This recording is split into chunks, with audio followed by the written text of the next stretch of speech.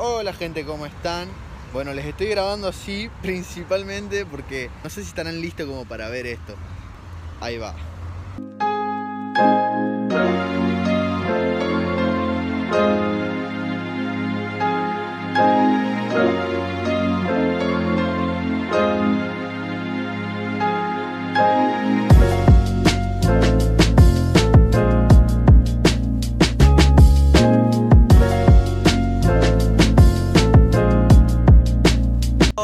Gente, ¿cómo están? Sí, me saqué la barba. eh, la verdad que hace tiempo que lo tenía pensado el tema de sacarme la barba y dejarme solamente eh, los mostachos, los bigotes. Eh, no sé qué les parecerá a ustedes. Coméntenlo abajo si les gusta más la barba, si, o sea, por más que no tengan barba o que quisieran tener barba o lo que sea, pongan abajo si prefieren la barba o prefieren el bigote o prefieren directamente no tener nada de pelo en la cara.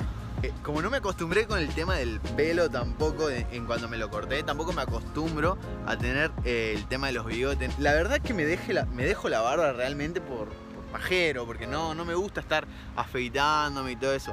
Pero ayer estaba en mi casa, me agarró la locura y digo, me voy a afeitar porque no realmente no tengo ganas de tener más barba, por lo menos por un tiempo, así que, así que nada, hay que ver cómo, no sé cómo me iría acostumbrando con el tema de tener los bigotes y no la barba. En fin, gente, que dónde estamos y qué estamos por hacer, ahora les cuento.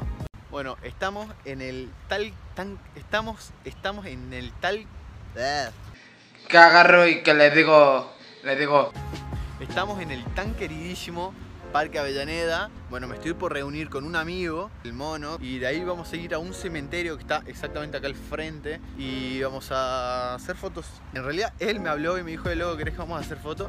Dije, sí, vamos de una. Eh, y bueno, nada, vamos a pasar la tarde acá adentro sacando fotos y seguramente van a haber un par de tomas buenas. Soy de pelotudo, me puse a caminar por casi todo el parque y me olvidé que lo tenía que estar esperando el pibe en otro lado. Dios mío, estoy pasando por un lugar que es súper así como de jueguitos de parque y cosas de feria, cosas así. Me hace acordar tanto cuando era niño y venía a jugar a estos juegos. Eran buenísimos, loco, eran muy buenos. Es verdad, loco, recién me acuerdo que hace mucho tiempo no subo un vlog, boludo. Me, me acabo de dar cuenta. La verdad que estaba súper, súper enviciado con un juego nuevo que es el Apex. Dicen que es el nuevo juego que le está ganando al Fortnite. Estuvo mal de parte, yo sé que estuvo mal de mi parte. Y acá está un amigo mío que al fin llegó, loco. ¡Eh! ¿Todo bien, amor? Eh, todo bien. Así que nada, loco, hoy van a tener blog nuevo. Bueno, loco, ya estamos dentro del cementerio. Se llama Cementerio del Oeste. Al final ah, pude saber el nombre. Es la primera vez que él viene hasta acá, loco, el cementerio. Yo lo conocía por un par de trabajos prácticos que hemos tenido que hacer con la facultad. Pero está súper bueno el lugar. O sea, es como, como tipo calle, así. Para mí es muy como así europeo este lugar. Así como, como que las sí. calles son, no sé, digamos, yo lo veo como que es muy europeo este cementerio. Eh, supuestamente acá vive, que acá es como que hay gente importante de Tucumán. Es más, creo que hay una tumba político, una cosa así de acá de Tucumán. ¿no? Y eran, eh, eran prócer. Claro, bueno, prócer. algo así como prócer. Claro, esto es un con piso, ¿me ¿entendés? Este lugar es bien. ¿entendés? Bendición, mira. Imagínate, pase caminando así una chiquita por ahí atrás. Acá hay mucha gente que es muy conocida por tema de política o cosas así en este cementerio y generalmente las enterraban acá. No es que cualquiera que se muere puede tener su propia tumba acá. Igual no creen que este va a ser como un tour como muy explicado porque yo la verdad no tengo idea tampoco. O sea, como le digo, muy vine dos, tres veces a... Desinformado. Claro, o sea, estoy súper, súper desinformado. O sea, he venido creo que eh, dos veces, pero como les digo, no, no crean que va a ser un, un- un tour muy explicado del lugar. Solamente es como para venir a hacer fotos y pasar el rato acá. La verdad, lo que este, este cementerio, aparte de ser súper tétrico, es como un, es, es un laberinto, digamos.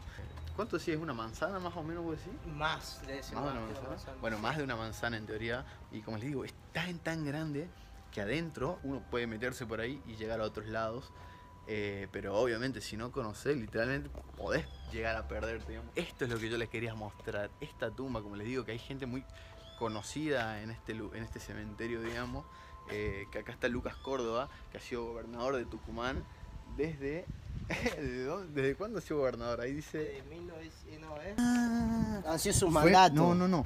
Ha sido primera vez de acá hasta acá y segunda vez capaz de Claro, acá. a eso sus mandatos han sido de tal De año a tal año. Acá tenemos otro personaje importante de Tucumán que es la Lola Mora. Creo que si estoy en lo cierto, creo que ella fue la que donó eh, todo lo que vendría a ser el Parque Guillermina para Tucumán.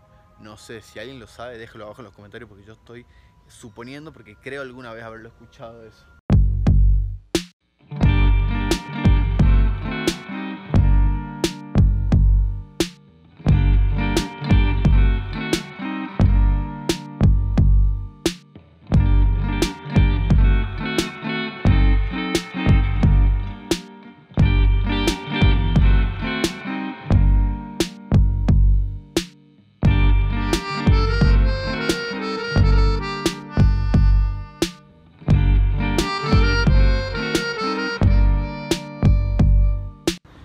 Gente, después de un buen rato estando ahí adentro, que ese es el cementerio, que si no lo conocen pueden venir a pasar y conocerlo, obviamente siempre con respeto. Está bueno porque alguien como él o como a mí que nos gusta la fotografía puede venir y practicar fotos acá. Está bueno, aprendes bastante. Si nunca vinieron y tienen ganas de conocerlo, pueden venir porque es totalmente gratis y está abierto creo que casi siempre.